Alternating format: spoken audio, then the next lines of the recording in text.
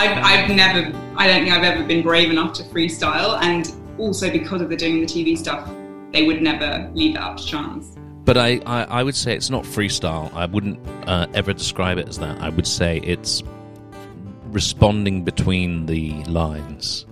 It's it's it's know your script, know where you are, and then be able to fly off it and be able to come back because you know where you are so well. And I think that's the real, in a way, that's the hardest bit. That's the challenge. Yeah. And yes, I've definitely been in that situation where, yeah, for sure, in my close up.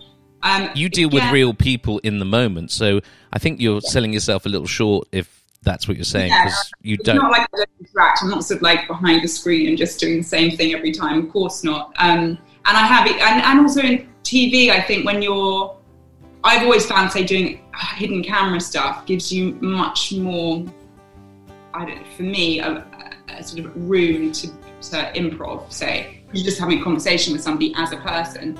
As soon as they see you as a magician, there's a sort of imbalance so they're kind of waiting for you to take the reins and do what you need to do so then you kind of stick to your script more whereas if it's conversational it's it's easier um, i think to do the improv